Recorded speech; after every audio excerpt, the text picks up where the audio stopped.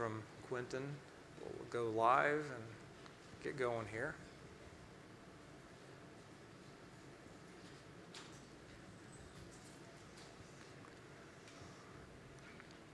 All right, so just want to welcome everybody in person, online, and just uh, we had awesome worship. Wow, felt like you went to the throne room of God and were worshiping around the very theme of the hour of Revelation chapter 5 the Lamb who sits on the throne, that he is coming and he's going to take that book and break open that book seal by seal and shake everything that can be shaken. So, amen. Amen. And so I, we're going to continue today, and this is still part, this is still session four hindrances to abiding in our class, Indwelling Life. This is part two, continuation from last Sunday. There was just too much to get in to do it all in one session. So, anyway, I want you to go ahead and let's, let's turn in the, in the scriptures now. And we're going to we're gonna turn and we're going to read a couple scriptures before we dive in here and just really want to get the Lord's heart in this. This is one of those messages where I feel like when, when I was writing my book, Indwelling Life, um, that now is now available. Uh, a little plug here. You can get this indwellinglife.com. Wow, Mary's already got her book, Star Student. So this is a proof copy, but you can get the, this now live indwellinglife.com. When I was writing this chapter four, this is one of those chapters where I, I think I rewrote it about 15 times. It's just very it, it takes a lot of precision, and I, I want to make sure I speak this accurately today because it, it's one of those things. It's almost like doing surgery. You want to make sure that that it's really stated in balance because it could swing you to the one way or the other. So I'm, I'm praying that God would give me the grace of God to, to speak this in balance. But we want to start here in 1 Corinthians uh, chapter 2, verse 14. And Paul is writing us, and I would encourage you to read 1 Corinthians chapter 2. It's a really powerful script, uh, passage of scripture. But Paul is writing, and in verse 14, he says, But a natural man, and that word natural actually means soulish, a soulish man, one who is governed by the soul, one whose mind, will, and emotions are governing, leading, and influencing that natural, that soulish man, you can be a soulish person whether you're born of the Spirit or whether you're not. In fact, if you're not born of the Spirit, you're by default a soulish person. You're governed by the soul, you're governed by self life in the soul. But if, you're, if you have the Holy Spirit living inside of you, then, and you have Christ living inside of you, then you have a choice which life source to live from. Whether you live from Christ's life in your spirit, or whether you live from self life in your soul. And Paul is saying here, but a natural man, a soulish man, does not accept the things of the Spirit of God. They are foolishness to him, and he cannot understand them because they are spiritually appraised. So, in God's dealings and God's surgical work, and I, I, believe we're entering in, this is kind of a, a message where God wants to do uh, some surgery on us that God's goal in doing surgery on us is to separate so that we can see before us what part of our being is influencing us. In other words, that we would see, okay, am I being influenced by the soul? Am I being influenced by the body? Am I being influenced by the Spirit of God? What part of me is governing me? What part is leading me? What part is the leader of my life? Is it my soul, my self life in my soul, my body, my, the cravings of the body? Or is it the Spirit of God who is now one spirit with your spirit? And so let's now read uh, Hebrews chapter 4, verse 12. Or actually, let's read John chapter 15, verses 1 through 3. And this is what we started this class off with. I am the true vine, and my Father is the vine dresser. The Father, as the vine dresser, has a pruning, a pruning instrument in his hand.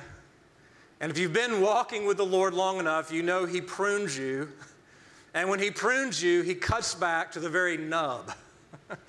How many of you have experienced that, that cutting back of the Lord where He prunes you back to the very nub? Now, He's not doing it because He's mean, he's, do, he's doing it because He wants you to bear fruit. Verse 2 Every branch in me that does not bear fruit, this is sobering right here, he takes away. And if you read down in the little bit long, in the passage, you realize that if you don't abide in the Lord, even if you're a Christian, then, you, then, he, then he takes you away and puts you into the fire. Now we'll save that, what all that means for another lesson. But every branch that bears fruit, he prunes it so that you may bear more fruit. What God wants to do is He wants to prune us, He wants to cut back the self life in the soul so that more of the Spirit of God, the, the life of God in our spirit can be released. But yet, there are hindrances to this abiding life. There are hindrances to the Spirit of God being fully released, and God wants to cut back those hindrances. Well, how does He do it? The Lord answers us in the very next verse. Verse 3 You are already clean, or that word actually means pruned. It's the same word as the one in the previous verse. You are already pruned because of the word that I've spoken to you. How does God prune us? Sometimes it's trials, sometimes it's tribulation, but always, always, always, it is the living and the active Word of God. It is the living and the active Word of God that comes in like a two edged sword and cuts to the division of soul and spirit. It is the living and the active Word of God that does surgery deep within us so that we can see, oh, this part of me is influencing me. This is my self life. This is my soul that's influencing and leading and causing me not to be led by the Spirit of God. So let's now turn to Hebrews chapter 4, verse 12 to set the context. Hebrews 4, verse 12. We read this last Sunday, but we're going to read it just one more time. It's a very important scripture verse that is revealing how God prunes us. How does God prune us? By His Word. What does that look like? It looks like this Hebrews chapter 4, verse 12 For the Word of God is living and active, it's sharper than any two edged sword. It pierces as far as the division of soul and spirit. Now, the King James Version says, it divides asunder soul and spirit. In other words, the idea here is that the living, the active Word of God penetrates down deep into that innermost part of our being and separates out and divides asunder out those the, the spirit and the soul so we know when we realize okay this part of me that i thought was god leading me is actually just my emotions. This part of me that i thought was me hearing the voice of god is actually just my own thoughts.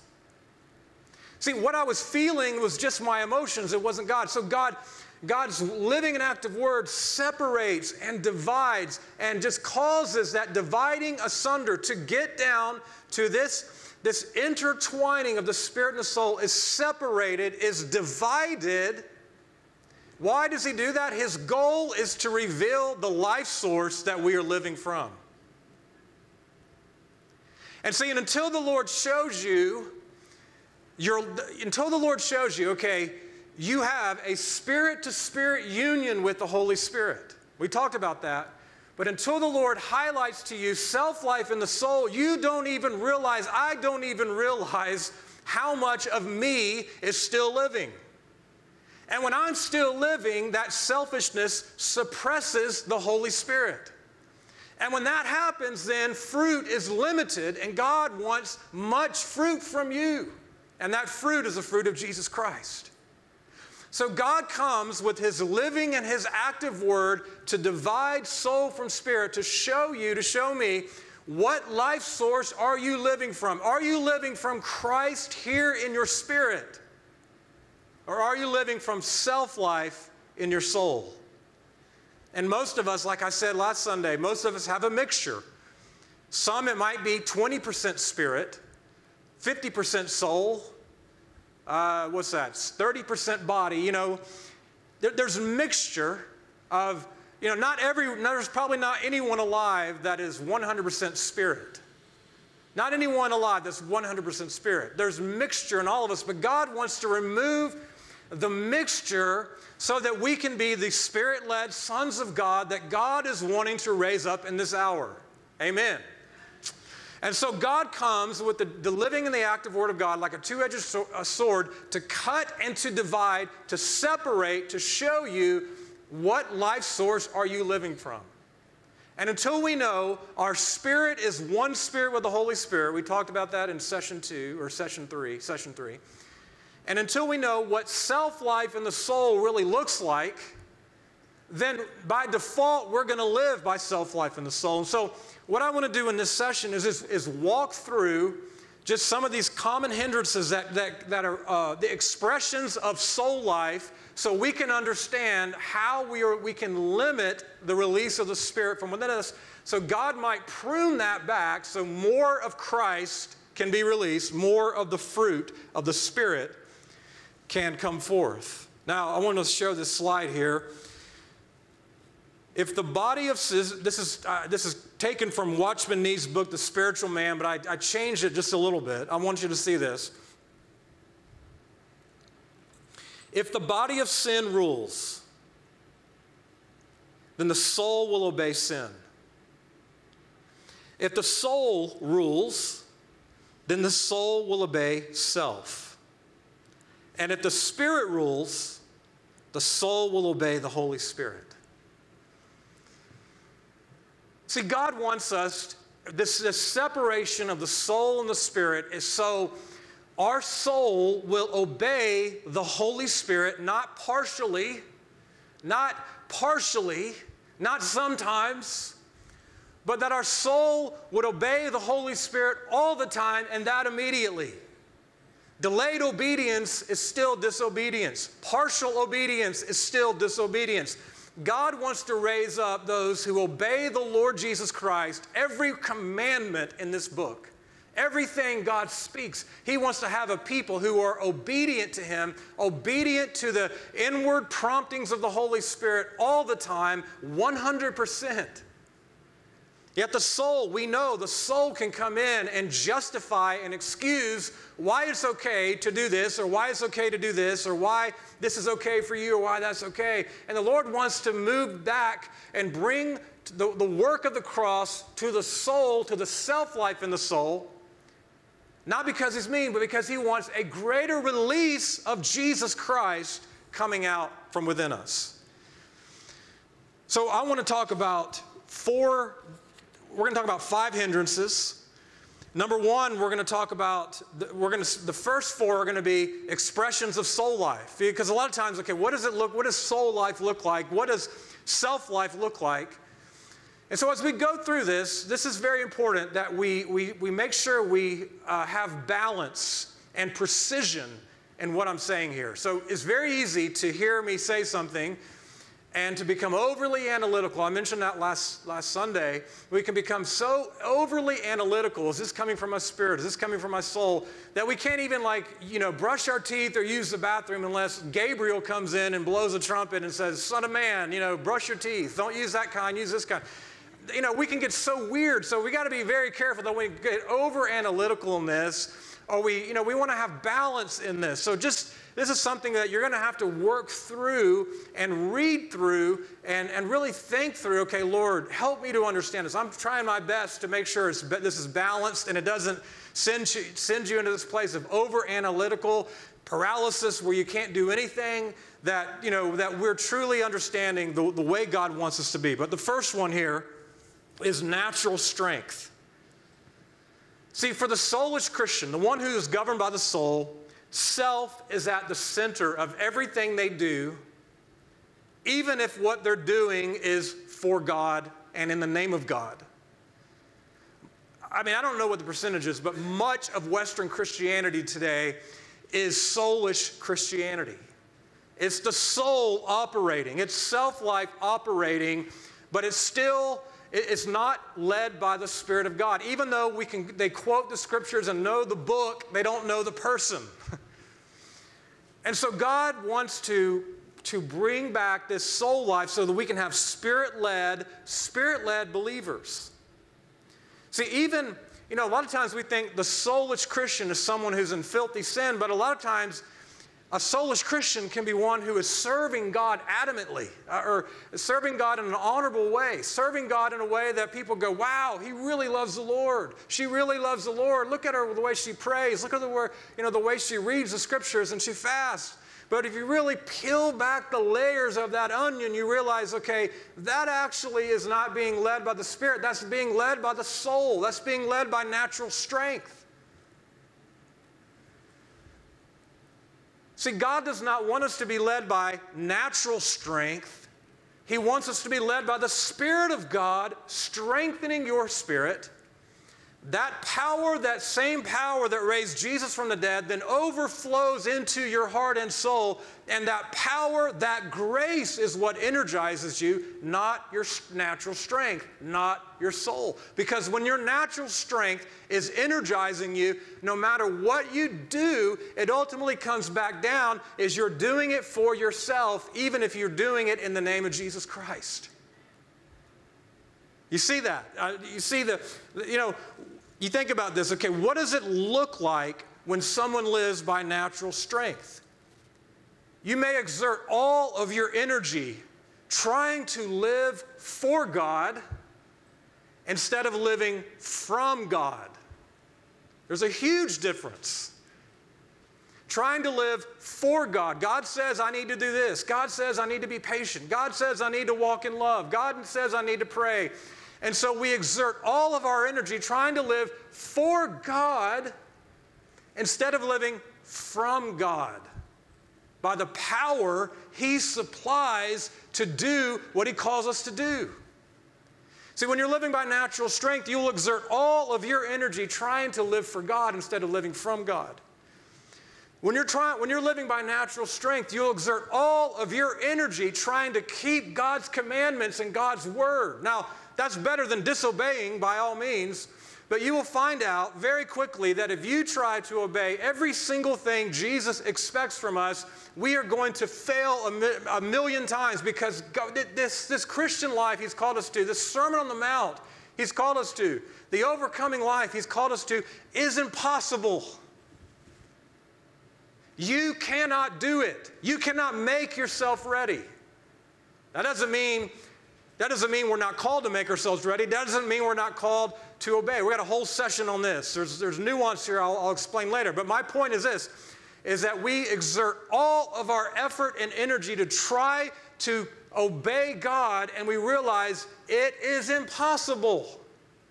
There is one person that can obey God and that's Jesus Christ. And there's one person that can obey God in you and that's Christ in you. Him living through you is the only way you can keep God's word. It's the only way you can live the Sermon on the Mount lifestyle. It's the only way you can overcome. It's the only way you can be a spirit led Son of God.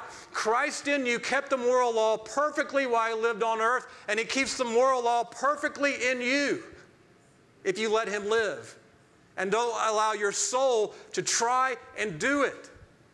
Like the Galatians, and Paul told the Galatians, You foolish Galatians, you started out so great, but now you're trying to be perfected by the flesh. What are you thinking? Who's bewitched you?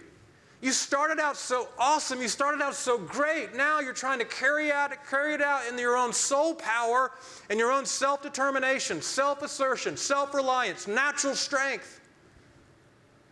And see, in Romans 7, Paul had a battle with the, with the law. When the Word of God came and said, You shall not covet, it revealed to Paul, I'm going to try my best not to covet. I'm going to try my best not to covet. I'm going to try my best not to covet. And what did Paul do? He coveted every single time. And he realized, Wretched man that I am, who will deliver me from this body of sin and death? Thanks be to God through Jesus Christ my Lord. For the law of the Spirit of life in Christ Jesus has set you free from the law of sin and death. Only Christ in you can keep his commandments. That doesn't mean we lower the standard. We actually, the standard is like way higher than under the old covenant, but it's Christ in you that keeps it. See, when you're living from self life in the soul, you will apply your natural strength your natural giftings, your natural resources, your natural creativity, your natural talents to try to accomplish something for God. Now, don't go to the other extreme and say, okay, I'm so worried about that that I'm not going to do anything. Okay, there's another, there's another pit you can fall into. But instead of, see, the, the Christian will use their natural strength, their natural gifting, their natural creativity, their natural influence, their natural ability, their natural charisma to go out and do great things for God instead of waiting on the Lord in prayer for revelation, direction, insight, wisdom, strategy, and then only doing and only, only allowing the, the life of God to then energize and empower the natural creativity or talents or resources God's given you. See, God doesn't get rid of those things, He uses them by the Spirit of God. See what I'm saying? So there's one way where you can go out and apply without, without just on your, in your own self effort and your own self strength to do something for God using your own natural abilities rather than relying on the Spirit to empower those natural abilities to be empowered by the Spirit of God. I mean, if we're being honest, all of us at one time or another have done a good work instead of a God work, haven't we? We've done a good work. We've been like Abraham. You know, Abraham said, okay, well, God is delaying his promise. I've got a great idea. I'm going to go and have, I'm going to go have relations with uh, Hagar and I'm going to give birth to Ishmael. Maybe God might do something through Ishmael. I mean, all of us at one time or another has said, okay, I think what God really wants me to do is help him out. I think what the Lord really wants me to do is to employ my good ideas and try to come up with a plan and a strategy and a marketing idea and gimmicks to maybe help God out because I think He really wants me to think for myself. And the Lord's like, no, that's not what I want. What I want is I want you to wait on me, to hear my voice, and to obey what I say to do. Don't come up with a good idea. Wait on Him for the God idea. Because if we do the good idea, we're going to give birth to the flesh. And if we do the God idea, we'll give birth to the spirit. See, every time we live by natural strength, self is at the center. No matter how incredible the righteous acts may appear, we're giving, we're praying, we're fasting, we're worshiping. But Jesus said in the Sermon on the Mount, yeah, but you're doing it to be noticed and to be praised by men. Because self is at the center. You're not doing it for an audience of one. You know, Jude mentioned, Jude 1, verse 11, he talked about the, the, what had happened in the church, and he said, They've gone the way of Cain. God's own people have gone the way of Cain. What they did is they took their own natural strengths, the work of their hands, and they said, We're going to go build something for God. We're going to go do something for God. We're going to exert our natural strength, our natural effort. We're going to go build something for God. And the Lord says through them, that's the way of Cain. God doesn't need us to build anything for God. God wants us to use that whatever talent, whatever resources, whatever creativity, whatever personality God's given you, God will use that, but it's going to come out of your intimate relationship with the Lord. I mean, for example, you know, there's no way in the world, I, you know, for me, I could never ever lead worship as much as I want to. Dad, Dad also. We, we both sing like a dog that's dying and we can't clap on beat. So no matter how filled we get with the Holy Spirit, maybe in heaven, but not on this life, neither Dad nor I will ever be able to lead worship. Okay, and so God uses your natural or even supernatural gifts, talents, and resources but he uses them as the Spirit leads, not as the soul leads. I want to do something for God. I want to build a tower. I want to build a tower that reaches into heaven. I want to do something that, that you know, God would like, God would love. And God's like, no, I don't work that way. Anything you do from the soul does not please me. It must be from the Spirit from beginning to end. This is, and I want to read this quote by Watchman Nee. And we'll show the slide here for this as well so you can see it. Very, very important quote. This is very, very important for us. God's pleasure or displeasure is not founded upon the principle of good and evil. Okay, get this, get this. God's pleasure or displeasure is not founded upon the principle of good and evil, or you could say right or wrong. The principle of good and evil, the principle of right and wrong. What's right, what's wrong, what's good, what's evil. Rather, God traces the source of all things. An action may be quite correct, yet God inquires, what is its origin? As human beings, we distinguish between good works and evil works. God, on the other hand, goes behind and makes a distinction as to the source of every work. What is the source of every work? It doesn't matter if you fast for 40 days. It doesn't matter if you read the Bible backwards and forwards, if that's coming from the soul and not the spirit. God looks at the source and says, that source needs to change. Now, again, it's better to live from the soul and obey God in the power of the soul than disobey Him, so don't mistake what I'm saying. But God wants to go deeper so that the source, the life source you live by, is not the soul but the spirit. God doesn't look at what you did good and what you did evil. God says, Are you living by the life? Are you living by the source of life in you? What life source does this come from? So you can do a good work for God and it comes straight from the soul. You can do a good work for God and everyone around you can praise you and applaud you and say, wow, he's so talented, he's so anointed. God's really called him, God's really blessed him. And God looks at him and says, no, you did it in the power of your soul because you did not wait on me to be filled with me, to be filled with life. Now, again, this is, some, this is where I would say if you don't have this book, a little plug here, if you don't have this book, read chapter 4 slowly. Read chapter 4 slowly because there's a lot of nuance here. I go through a lot of the different nuance in here of pitfalls on both sides of this, okay? So read chapter 4 very slowly because God wants us to get to this place where we're, we're spirit led.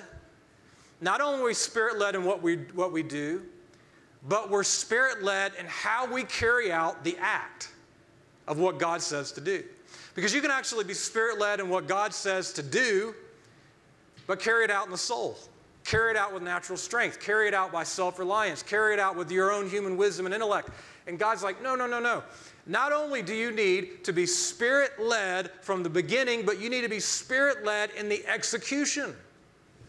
And you need to be spirit led until the end. Spirit led from beginning to end. Okay, the second life source, or the second, uh, actually, the second uh, expression of soul life is self reliance. This probably gets every one of us. And by the way, I'm preaching to myself today, okay? So I just want you to know I need this just like you need this. I, I'm preaching to myself today. Self reliance. I mean, how, how often am I independent? How often are you independent? Just, I can do this. God, I got this. I, you know, you told me to do this. I can do it. I can do it, Lord. Self assertion, self determination, strong willed independence. See, even that even even with good intentions even wanting to do something good for god that self-reliance suppresses the spirit because it says to the lord i'm good i got it i can i can carry it out to completion lord see the, the soul can oppose the holy spirit not even not just in sin which we know is true the soul can oppose the holy spirit even in that which is good if it doesn't rely upon the Spirit of God for the strength and the grace to carry out what God says to do. It's spirit reliance, not self reliance. It's spirit reliance from beginning to end. Every, this is what it means to be led by the Spirit of God. This is what it means to be joined to Him and live by His life, is that we're not self reliant, we are spirit reliant. When you're spirit reliant and not self reliant, you wait on the Lord. You don't go off and say, I'm going to go execute a good idea. I'm going to go do something for God. Or, no, this makes logical sense. I'm going to go out and do what seems logical. The Lord's like, no.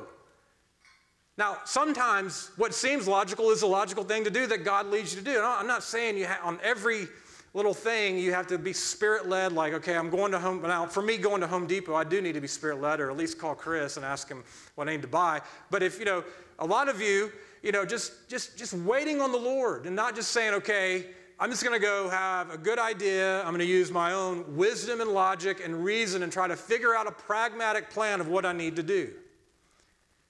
Spirit reliance is waiting on Him. Okay, Lord, what do you want me to do?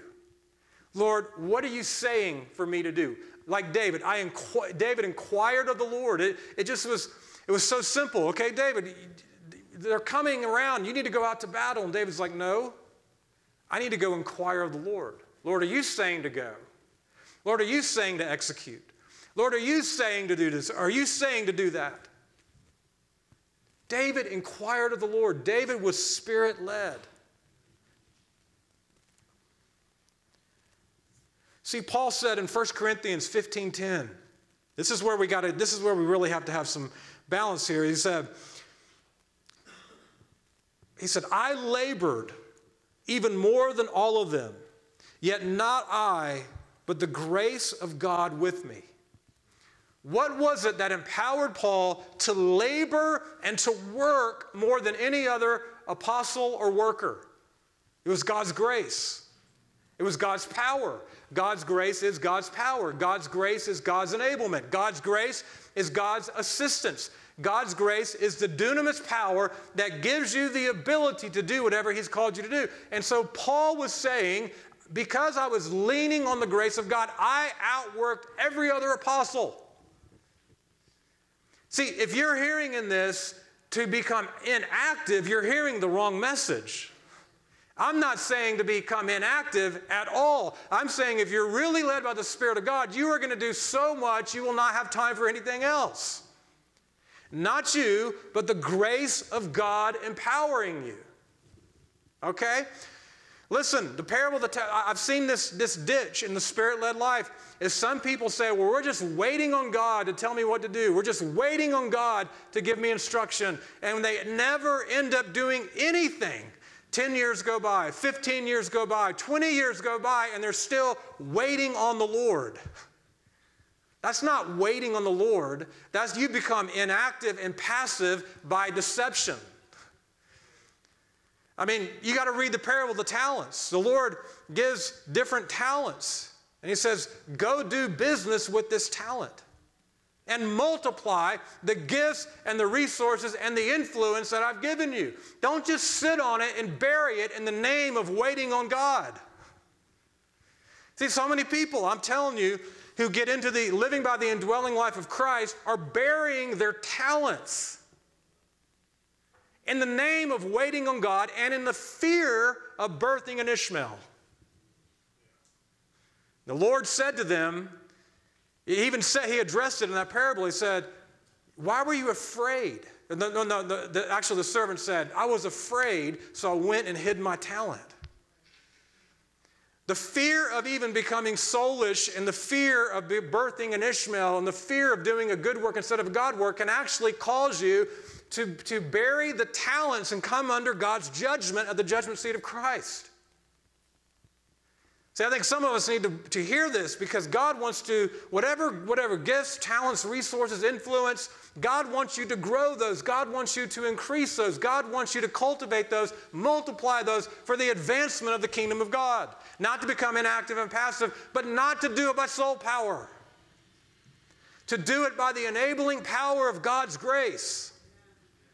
That doesn't mean you're always going to have goosebumps when you do it. That doesn't mean everything you do is going to be easy. I mean, like, for example, writing this book. By the way, I told you this book's out now. You should get it. I'm just kidding. Just an example writing this book. God called me to write this. I mean, probably 10% of the time I felt goosebumps or, or chills or emotions, I guess is a better word. I felt, I felt something, you know, 10 to 15% of the time. I really felt God moving.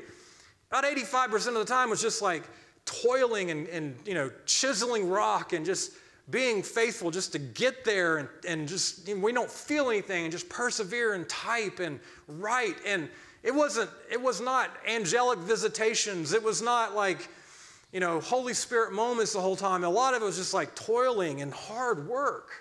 My point is, and like dad doing life school and dad multiplying life school. I mean, he's not feeling Holy Spirit goosebumps when he's sending out message or, you know, budget requests and, you know, uh, handling different issues and all this. A lot of it's just hard work. But it's the grace of God that empowers you. So Paul said, I labored more than all of them, yet not I, but the grace of God with me. If God's grace, if you're really living by the indwelling life of Christ, you are going to bear much fruit. Not just the gifts, not just the fruit of the Spirit, but you're going to, you're going to bear fruit of kingdom work, kingdom work that multiplies and advances God's kingdom. Amen. Just staying on this theme of self reliance, another expression of self reliance is self sufficiency, where self is at the center instead of Christ. And you know what Jesus said to the Laodiceans? He said, he said, I wish that you were hot or cold. Because you're a lukewarm, I'm going to spit you out of my mouth. What was their attitude? Their attitude was, I am rich, I have need of nothing. See, the Laodiceans were in a state of self sufficiency. And that state of self sufficiency, saying, okay, I have everything I need. I'm good, Lord. I'm doing good. I'm saved. I'm going to heaven. You love me. I love you. And they grew lukewarm. And the Lord's like, I'm going to spit you out of my mouth. See, self sufficiency means, lukewarmness means, I'm okay where I'm at in my present relationship with the Lord. That's an expression of soul life. I'm okay. I'm good. My present hunger level, okay, I'm content with where I'm at in the Lord. I'm content with the fruit that I'm bearing. I'm content with the ministry influence that I have. I'm content with the intimacy level I have. I'm content with my present, present prayer life. I'm good, Lord. I'm good. And the Lord says, No, you don't know that you're wretched, miserable, poor, blind, and naked. What was happening was the soul, the soul of the Laodiceans was living and not Christ and they were self sufficient. What's that common denominator between self satisfaction and self sufficiency? It's self living rather than Christ. Amen. Does anyone feel like they're being cut back yet? Hopefully. I am. Number three, the third hindrance is the rational mind. The rational mind. So let's show the slide here. I want to make sure I want to make sure this is I walk through this slowly because you can really misunderstand what I'm saying to think, okay, the mind isn't important. The mind is important. The mind is important. Okay, so I'm going to read this here. The mind is essential. Okay, just catch this. Sometimes spirit led, charismatic Christians miss this.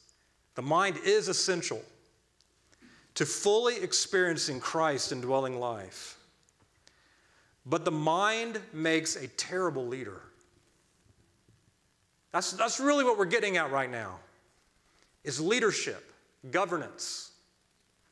The mind is a terrible leader. The Lord designed your mind to serve your spirit. The spirit was never meant to be governed by the rational mind.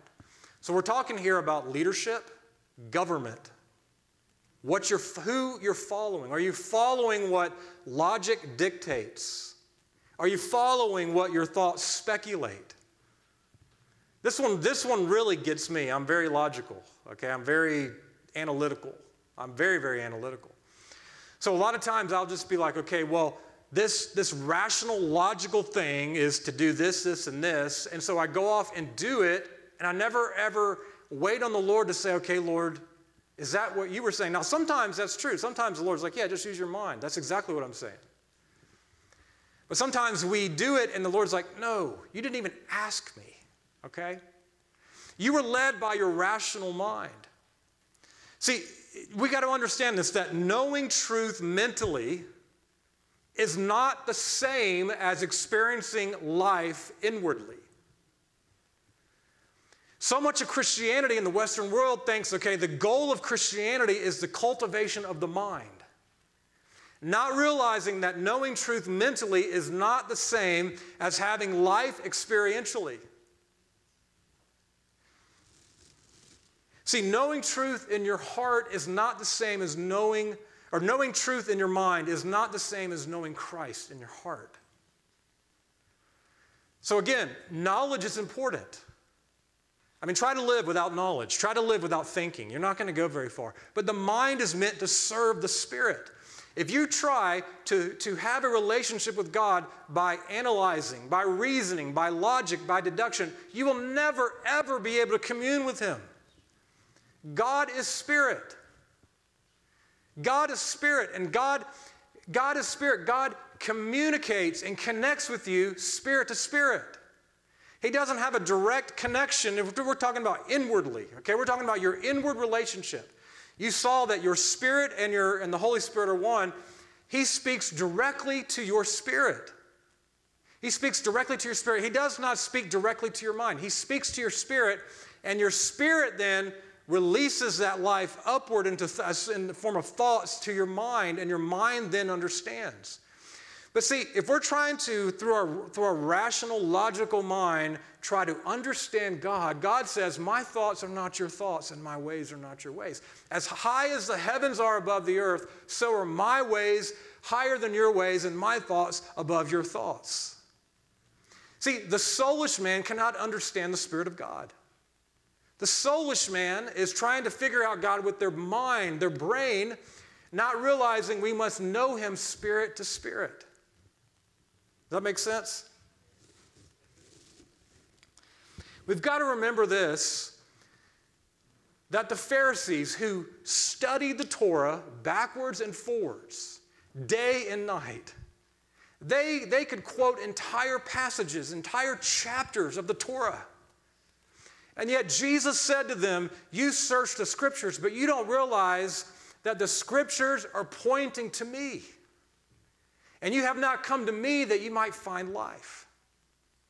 See, the Pharisees thought, okay, they had a relationship with the book and not with the person. And they actually crucified the one to whom these verses pointed because they were pursuing knowledge rather than life. They were pursuing a book rather than a person.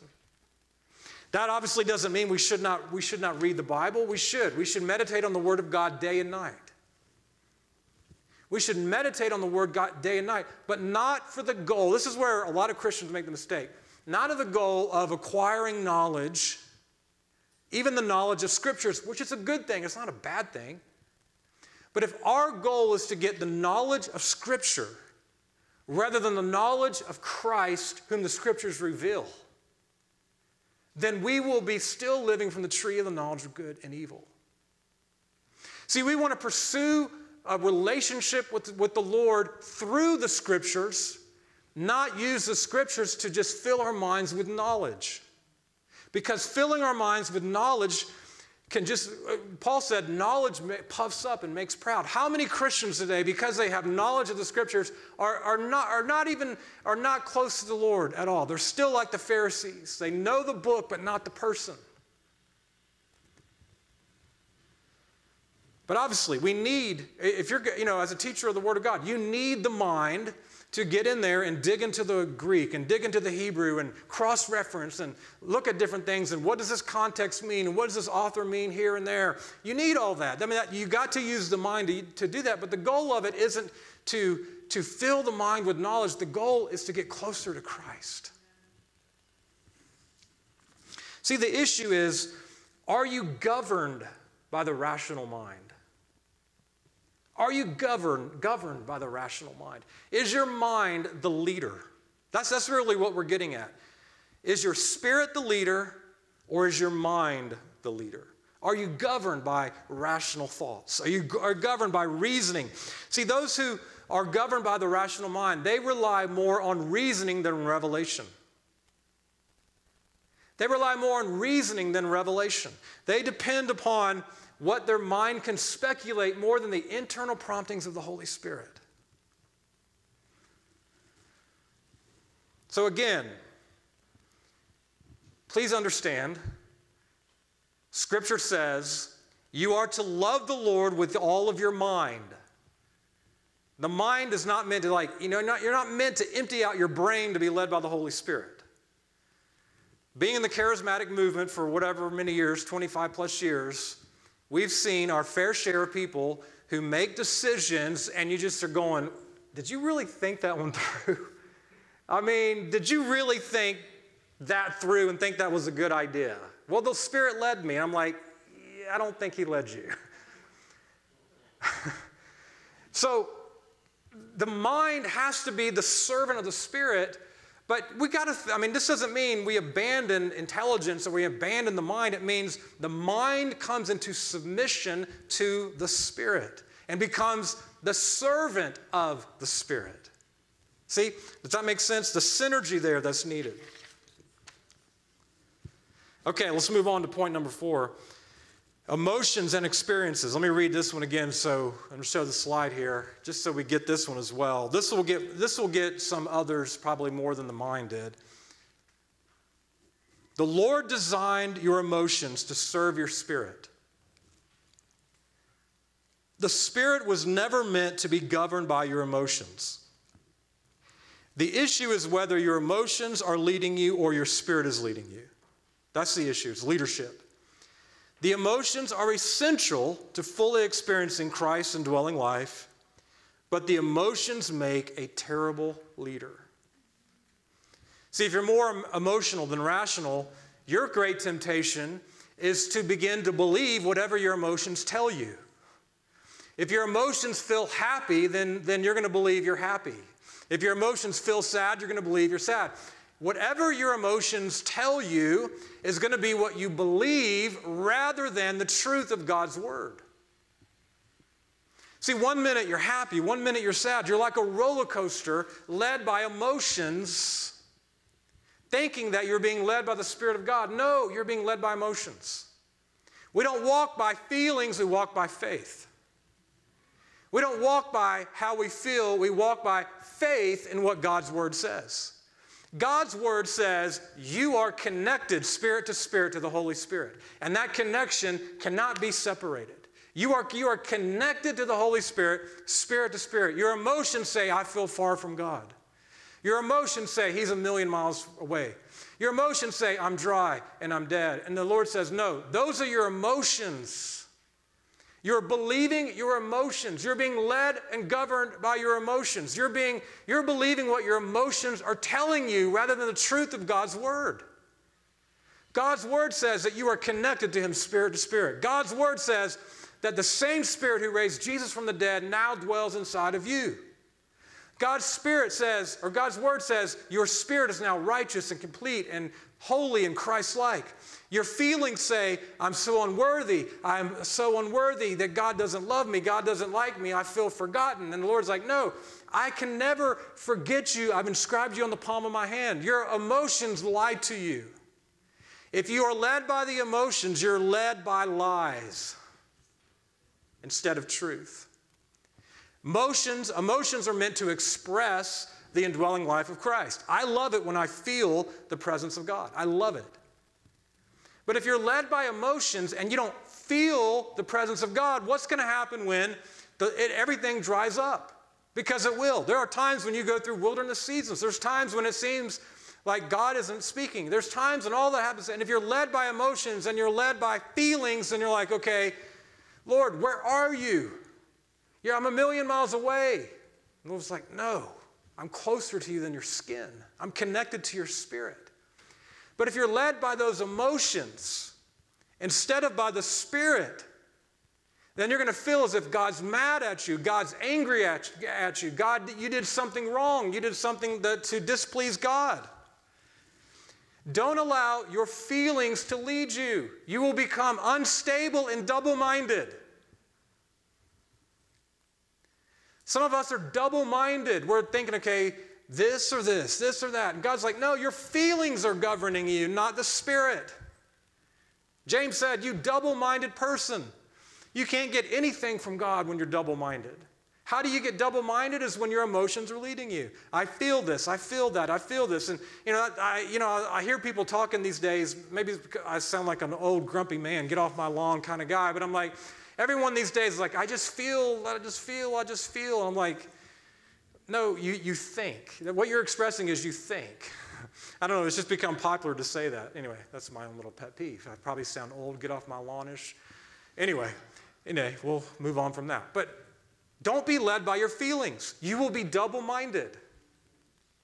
Be led by the Spirit of God.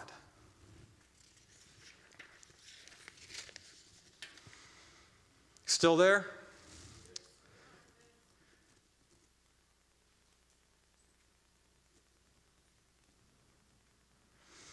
See, if we're going to learn to live by the indwelling life of Christ, we're going to have to silence the voice of our emotions that tell us you are far from God, God doesn't like you, God's mad at you, you're never going to become what God wants you to be. And you feel it, you, you feel this way, you feel that way, you feel condemned, you feel ashamed, you feel unworthy, you feel, feel, feel. Those are just feelings. God's truth says you are accepted in the beloved. God's truth says you have everything you need for life and godliness. God's truth says you are righteous in Jesus Christ. God's truth says you have the overcomer in you and you can overcome as he lives in you and through you.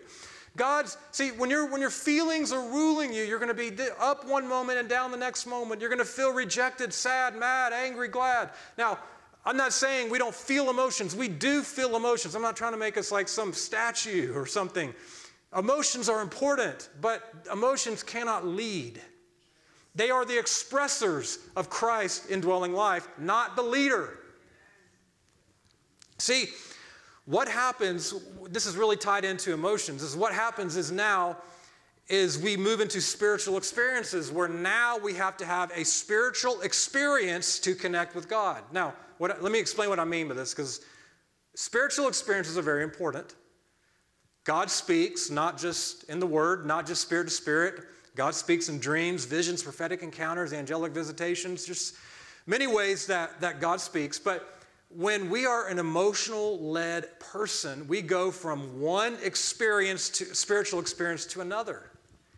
Instead of learning to connect with God spirit to spirit, we're running. This is especially, I don't, this is not really true here, but in the charismatic church, it's, it's very, very prevalent. We're charismatic, but in, in a lot of the charismatic church, it's very prevalent. We're running here, there, and everywhere for another experience.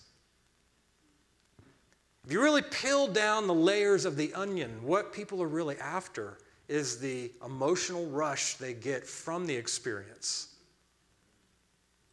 rather than that inward relationship with the Lord. Now, don't get me wrong, I love spiritual experiences. I love it when I experience the Lord um, in, in a different way, dreams, visions, encounters, and things like that. I love those things, but my relationship with the Lord is not based upon the experiences. My relationship with the Lord is not based upon the emotional high that comes out of revelation. I love it when God reveals things to me. I love it. There's no greater feeling than the pleasure that comes when He reveals His word to me. But I'm not seeking the Lord for the revelation, I'm seeking Him. Whether I feel it or whether I don't, I'm, I'm pursuing this inward relationship with Christ. Whether I feel the high or I don't feel the high, I'm not addicted to the emotional euphoria that comes from an experience. You see what I'm saying? You know, when, when Christians are governed by emotions, they, you know, they have to feel God's presence. And I, and I, listen, I love feeling God's presence. Okay, you see what I'm saying? The nuance of it, okay? A little bit. Eh, don't get me wrong. I'm not saying you're just a statue and you don't feel God. You do feel God, but there's times when you don't feel God. You know, when I first turned to the Lord, I felt like for a year, all I did was cry and weep and weep of the love of God coming on me. And I got addicted to that feeling of love. It was incredible. It was better than any experience I'd ever had in the world. The love of God coming on to me and baptizing me in His love. I just wept for, it seemed like every day for a year, just weeping and weeping and weeping. But you know what? I got addicted to that feeling of love. And I was seeking that feeling of love rather than I was seeking the Lord in an inward relationship with Him. Now, I will take that feeling of love anytime, it's incredible. But my relationship is not based on that feeling. Not, my relationship with Him is not based on that experience. See, especially in the, you know what I'm saying, in the charismatic church, don't we, don't we move in this easily? We're so especially some in the, the outer fringes of this, one experience to the next experience instead of having that inward communing relationship with the Lord.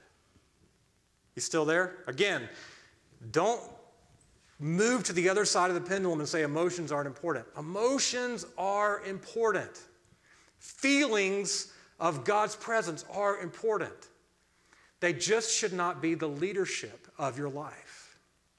The Spirit should govern you, not emotions. See, if your emotions govern you, listen to this. If your emotions govern you, if you're, if you're led by your emotions, it's very easy to think maturity equals feeling God's presence. If I feel God's presence, therefore I'm mature. I feel joy in the Lord's presence, therefore I'm mature. And it's like, no, maturity is measured by the measure of Christ in you. Maturity is measured by the amount of life in you.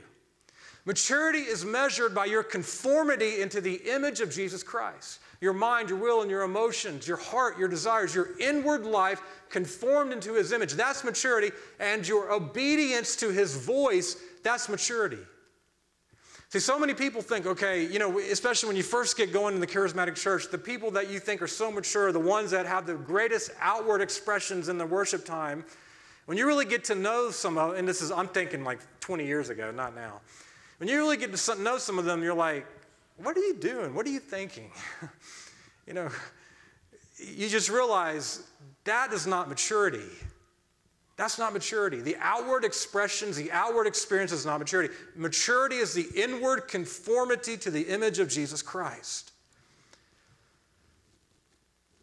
See, it's important that we understand, you understand, God, your connection to Jesus Christ never wanes, never dissipates. You are always connected to Him, spirit to spirit, no matter what you feel like. Okay, number five. This will be the last area we look at here. And we'll, we'll read this slide again to uh, just really make sure we get it. Is the Lord designed your body to serve your spirit? The spirit was never meant to be governed by your body. The issue is whether your body is leading or your spirit is leading. The body is essential to, fully, to fully experiencing Christ indwelling life, but the body makes a terrible leader. See, if, if your soul, if you're living by self life in your soul, what will eventually happen is the lust and the rebellion and the death that's in the, the sin that is in your body. Paul makes it very clear that sin is in your body. And that sin is not going to be removed until you get a new resurrected body at the second coming of Jesus Christ. That sin, if you're living by self life in your soul, the sin in your body will eventually take over and your soul will obey the body of sin.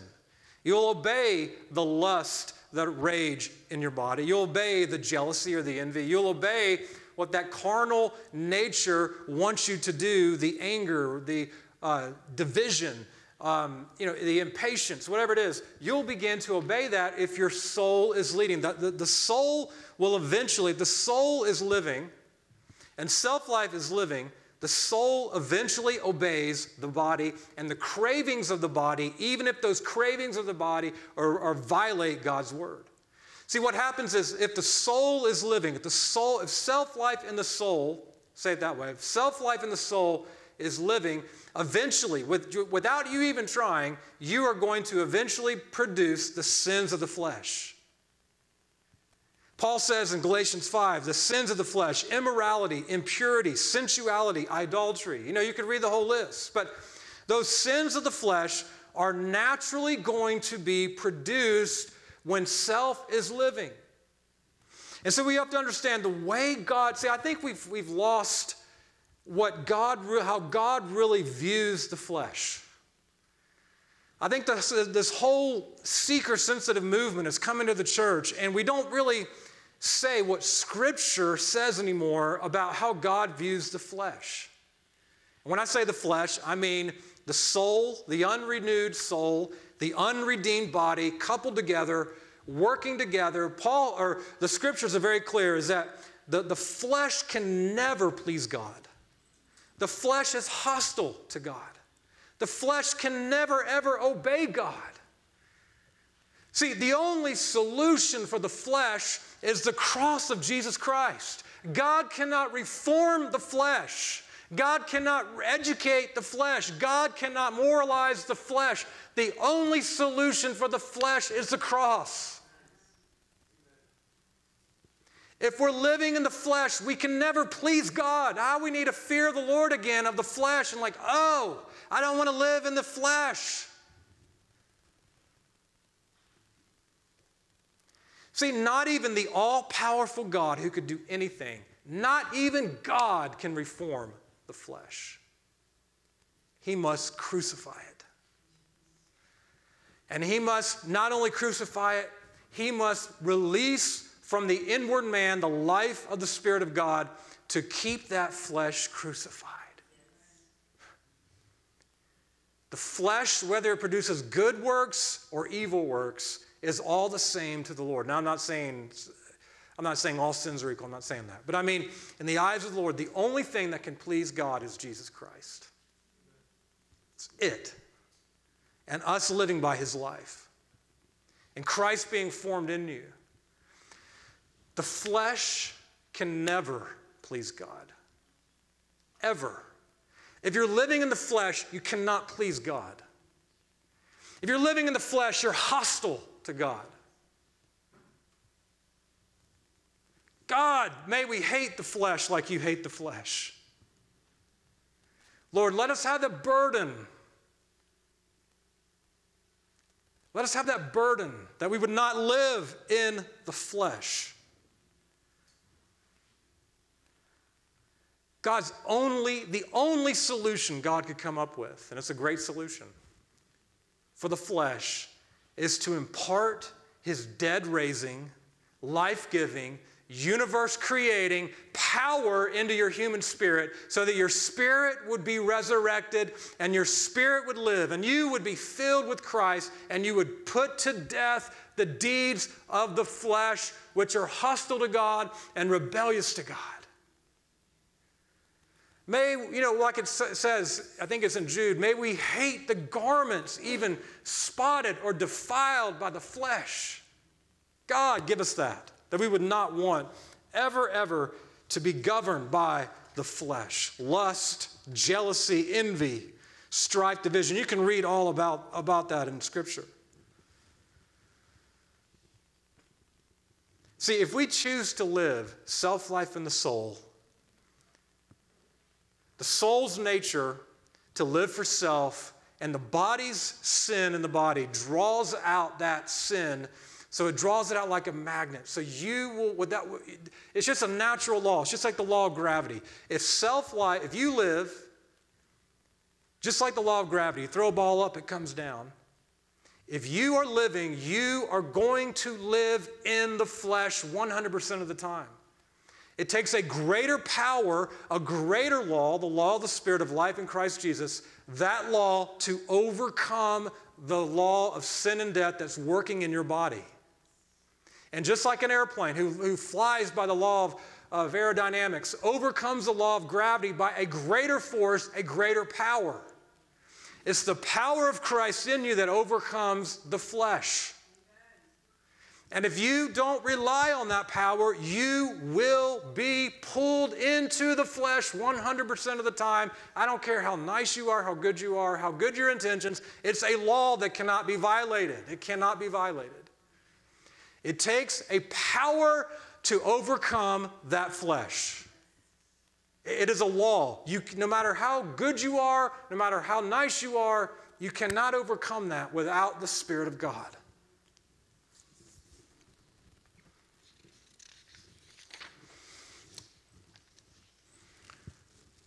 So, as we bring this to a close,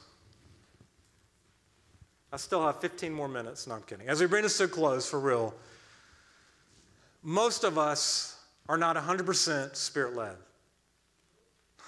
I'm not. If you are, you should be preaching. So I'm not, you're not, we're not. We're, we're a work, okay, we are a work in progress. You know, for some people, it might be 30% spirit leading, 40% soul, 30% body. For others, it might be 10% spirit, 80% soul, 10% body. I don't know. That's probably an over analytical, emotional person. Still others would be 5%, 5% spirit, 10% soul, 85% body. That's someone really carnal. And I don't know exactly what percentage it is, but I think God wants to move us to shift us into be those spiritual people that are led by the Holy Spirit. Spiritual people that we would strive. This is, the, the, this is what we're getting at with the soul and the body is synergy. Synergy. Spirit first, spirit leading, spirit governing, spirit strengthening, spirit revealing, spirit communicating, the soul becoming the executor, the expresser, the processor of the Spirit's input, the body serving whatever the soul says.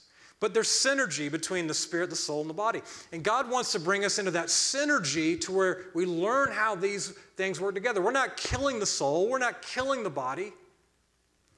We're using the, the body and the soul are servants of the spirit as the spirit of God strengthens us and fills us. And so, you know, I would say it like this is um, now that I'm teaching on this, especially in my house or with my dad or whatever, my brothers, if I say one semi carnal or soulish thing, they're like, "Ooh, not living by the indwelling life of Christ." So, I mean, I, I can't even, you know, I can't even like watch a game now without them going, "Ooh, a little soulish," you know. And the Angie's the same way. It's like, okay, we're working this out. Okay, I'm not, I'm not one, you know, I'm not even anywhere close to 100% spiritual. And that doesn't mean you can't have fun, watch games, or you know, enjoy life or any of that stuff. In fact, you will be, if, if, you, if you can learn what I'm talking about, you will be such a better father, such a better mother, such a better spouse, such a better employee or employer. You will, whatever you do, if you can learn to live by the indwelling life of Christ, you will be so much better to be around. You'll be so much better. Every, you know, you'll, people, unless you're calling them to repentance, you know, in which you might be, um, they will, there'll be something about you, especially, you know, you can be an aroma for death or an aroma for life, but there's something about you people will be drawn to, people will, will be attracted to if you're living by the life of Christ. Now, if they're living in sin and you're living by the life of Christ, they will not want anything to do with you. But those who are truly living by the indwelling life of Christ, there will be this attraction. You'll become a better person. You'll become the person God created you to be. You know, sometimes people go, okay, well, how do I become a better father? How do I become a better mother? How do I become a better husband? How do I become a better wife? How do I become a better worker or minister or whatever that is? And I just say it's simple. And it's not simple, but it's the, the answer's simple. Living it's not simple. The answer's simple. Live by the indwelling life of Christ. Learn to live by the indwelling life of Christ. And you will be the person God has created you to be. Amen. Let's pray. Lord, I just thank you, Lord, for today. And Lord, our prayer today is that, that you would help us to process and work out, Lord, these details. Lord, I just pray that we would be spiritual people. Lord, led and governed by the Holy Spirit, I pray. Lord, I pray right now that we would be spirit first soul second, body third. Hopefully, we're not having an earthquake. Lord, I, I pray that we would be filled with the Holy Spirit. Lord, that you, that you would get us free of the mixture. That we would be, Lord, wherever we are in our percentages, Lord, that you would help us to be free of mixture, that we would be those that are led by the Spirit of God from beginning to end. We just pray that in the name of Jesus Christ. Amen. Amen. Amen. I'll say one thing before we end. Just, uh, just one more time. Indwelling life, especially now. I'm I kind of, kind of people are laughing at me. You're like become this Tony Robbins marketing person. So, um, no, for real though, I feel like I barely touched the surface of this session today. The, session four, it, it goes into more detail, uh, or chapter four, I should say, in this book, Indwelling Life. Just really want to encourage you to slow down, prayerfully think through chapter four, um, how to apply that to your life, what it means, what it looks like in your life. So, anyway, I just want to encourage you to get that book and, and read especially chapter four so that these hindrances of self life and all that that means might, might uh, God might do a deep work there. So, anyway, God bless you for joining us online. We'll see you next Sunday and hope you have an awesome week.